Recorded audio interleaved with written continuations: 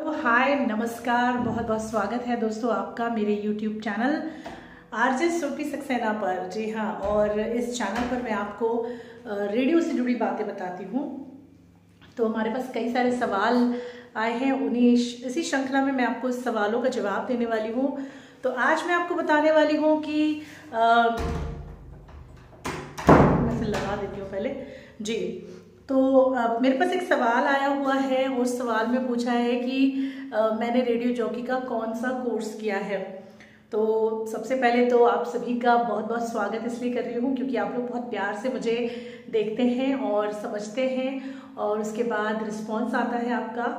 तो आज इसी प्रश्न का जवाब देने वाली हूँ कि मैंने आरजे का कौन सा कोर्स किया है?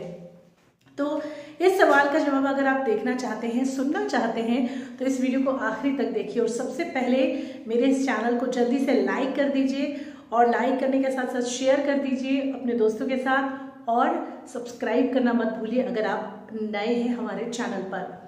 तो दोस्तों, ये सभी जानते हैं कि रेडियो, या आवाज़ एक ऐसा माध्यम है जिससे हर कोई जुड़ना चाहता है। ओबियसली मुझे भी बड़ा शौक था और मैं अपनी कई वीडियोस में बता चुकी हूँ कि मुझे ये जो रेडियो का शौक़ है, मेरी नानी से मिला है। मेरी नानी को रेडियो सुनने का बहुत शौक़ हुआ करता था और मेरी नानी जो है, जब सुनती थी तो वो मुझे भी ऑब्वियसली सुनाती थी। तो धीरे धीरे ये शौक़ जो है, वो बढ़ता चला गया और कब मुझे रेडियो से जुड़ने का मौका मिला, ये मुझे अपने आप ही नहीं पता चला। लेकिन हाँ मैं बता दूँ आपको कि मैं ट्वेल्थ कर चुकी थी ग्रेजुएशन में थी और एक दिन रेडियो सुन रही थी क्योंकि रेडियो सुनने का इतना शौक था कि सोते, जागते, उठते, चलते, बैठते, खाना खाते इवन पढ़ाई करते भी रेडियो में सुना करती थी। जैसे आजकल लोगों को मोबाइल का चस्का लगा हुआ है, वैसे ही उन दिनों जब मोबाइल्स नहीं हुआ करते थे तो रेडियो का चस्का लगा हुआ था क्योंकि रेडियो एक ऐसा मीडियम था जिसमें गाने आते थे और गानों के साथ साथ अच्छे अच्छे प्रोग्राम्स आते थे और साथ ही आप उसे कहीं भी कैरी कर सकते थे और उसे आप स्लो करके भी सुन सकते थे। लेकिन हाँ एक अच्छाई थी रेडियो की कि वो आपको बिगाड़ता नहीं था। आपको एक अच्छी सीख देता था। तो मेरी जो लैंग्वेज है, आज भाषा है, वो कहीं किसी ना किसी हद तक इसलिए रेडियो से मिलती जुलती है क्योंकि मैं रेडियो ही सुना करती थी। मेरा कोई और दोस्त या साथी नहीं था। आजकल के दौर में जो बच्चे हैं, वो मोबाइल के थ्रू पता नहीं किस किस से कनेक्ट हो रहे हैं और किस किस की भाषा सीख रहे हैं, किस तरह की लैंग्वेज सीख रहे हैं क्योंकि वो ऑनलाइन होते हैं और लोगों से बातें करते हैं और वो उनके अंदर आने लगता है। वही सेम चीज़ हमारे अंदर है मतलब मेरे अंदर थी। और मैंने ऐसे रेडियो सुनना शुरू किया। अब जब मैंने पहली बार रेडियो के लिए सुना कि ऑडिशन होने वाले हैं, मैंने उस ऑडिशन को के बारे में सुना, पढ़ा और अपने पापा से कहा तो पापा ने मुझे फॉर्म भरवाया, उसका एक डीडी बनता था, वो बनवाया और मैंने उसे पोस्ट कर दिया। मेरे साथ साथ मेरी सिस्टर ने भी पोस्ट कर दिया। हम दोनों ने कर दिया। फिर हम दो साल तक भूल ही गए। हमें याद ही नहीं था कि हमने रेडियो का कोई फॉर्म फिल किया है, यानी ऑडिशन के लिए। फिर पापा का ट्रांसफ़र हो गया हम जबलपुर से फ़तेहगढ़। आपने सुना होगा फरुखाबाद फ़तेहगढ़ में फादर के साथ हम लोग ट्रांसफ़र हुए, शिफ्ट हो गए। उस समय मैं एमए कर रही थी हिंदी लिटरेचर से। और हम यहाँ रहे डेढ़ दो साल। उसके बाद फिर हम वापस लौटे और 2000 में हम वापस लौट चुके थे जबलपुर। तो अचानक एक चिट्ठी आती है और चिट्ठी में हम दोनों बहनों के लिए ऑडिशन का कॉल आता है कि भैया ऑडिशन है ऑडिशन के लिए आइए। और उसके बाद हम पापा के साथ जब भी ऑडिशन था, एक हफ़्ते या दो हफ़्ते बाद चले गए ऑडिशन दिया। ऑडिशन की तैयारी हमने नहीं की थी, कुछ भी नहीं किया था। हमें पता ही नहीं था कि ऑडिशन होता कैसे है, क्योंकि हमें बताने वाला कोई नहीं था। तो वहाँ पहुँचे, देखा तो एक पर्चा दिया गया मतलब एक एक पेपर था, उस पर क्वेश्चन थे।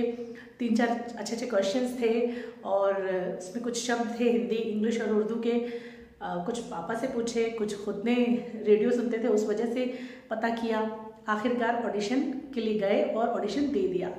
वन वीक के बाद ऑडिशन का जब रिज़ल्ट आया तो हम सिलेक्ट हो चुके थे। दोनों। कमाल है।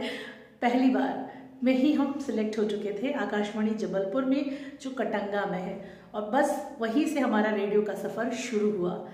और उसके बाद हमने शो शुरू कर दिए तो फ़र्स्ट वहाँ से मेरा 10 अप्रैल 2000 को पहला शो था मेरा। तो ये एक ऐसी कहानी है जो बिल्कुल हमारे लिए सपनों की तरह थी। हम रेडियो से जुड़ना चाहते थे, रेडियो सुनते थे। कितने ऐसे कलाकार थे जिन्हें हम सुनते थे और हम रेडियो पहुँच कर वहाँ देख रहे थे, उनसे बातें कर रहे थे। जिसमें हमारे एक दोस्त थे, आलमगीर खान, जिनका शो मैं रेडियो पर युवाणी के अंदर बहुत सुनती थी। मुझे बहुत पसंद थी उनकी आवाज़। तो जब आलमगीर खान के साथ मेरा पहला शो लगा तो मैं उन्हें बहुत एक्साइटेड होकर ये बात बता रही थी कि, सर, मैं आपकी बहुत बड़ी फ़ैन थी, मैं आपको बहुत सुनती थी, ये, वो, फलाना डिमकाना और काफ़ी ज़्यादा मैंने उनसे बात देखी। तो इस तरह से हम यहाँ आए। लेकिन हाँ क्योंकि उस दौरान रेडियो में आने के लिए कोई कोर्स नहीं था तो हमने कोई कोर्स नहीं किया। हमने सिर्फ़ अपना रेडियो का जो स्किल था, जो मैं सुनती थी, वो स्किल हमने अपनाई, उसको हमने सीखा था जो। और जो घर में बातचीत होती थी, वो देखा। उच्चारण साफ़ थे। थोड़ा स्टाइल रेडियो से सुनकर आया था तो वो चीज़ें थी जो हमारे अंदर थी इनबिल्ड हो गई थी। उसी के वजह से हम यहाँ सेलेक्ट हुए। तब ये नहीं होता था बट आज की डेट में लोग आरजेएस के कोर्स कर रहे हैं ट्रेनिंग ले रहे हैं। तो ट्रेनिंग अगर आप मुझसे लेना चाहते हैं वॉइस ओवर की या फिर शब्दों की, उच्चारण की तो आप मुझसे भी ट्रेनिंग ले सकते हैं एज अ ट्यूशन मैं आपको कोई डिग्री या मैं आपको कोई सर्टिफिकेट नहीं दे रही हूँ, लेकिन मैं आपको ट्रेनिंग दूँगी। आप कैसे सिलेक्ट हो सकते हैं?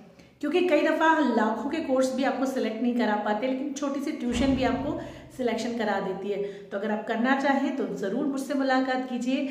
मेरा नंबर मेरा ईमेल आईडी मैं आपको दे देती हूँ। आप मेरे साथ जुड़िए। बहुत ही मिनिमम फ़ीस होगी इसकी, ज़्यादा फ़ीस नहीं होगी। और आप जितना अच्छा मेरे साथ सीख सकते हैं ज़रूर सीखिए। जितनी हेल्प मेरी हो सकती है, आपकी करने की, मैं उतना करने की कोशिश करूँगी। तो दोस्तों, ये थी मेरी रेडियो से जुड़ने की कहानी। छोटी सी कहानी थी जल्दी जल्दी सुनाई। बिकॉज़ अभी मैं थोड़ा जल्दी में हूँ, कहीं जा रही हूँ। जैसे ही मैं लौट के आऊँगी, एक अच्छा से और एक वीडियो बनाऊँगी जिसमें मैं अच्छे से अपनी पूरी कहानी आपको पहुँचाऊँगी, सुनाऊँगी। तो फ़िलहाल इस वीडियो में इतना ही। आप जुड़े रहिए। धन्यवाद, शुक्रिया और शेयर करना मत भूलिएगा। धन्यवाद।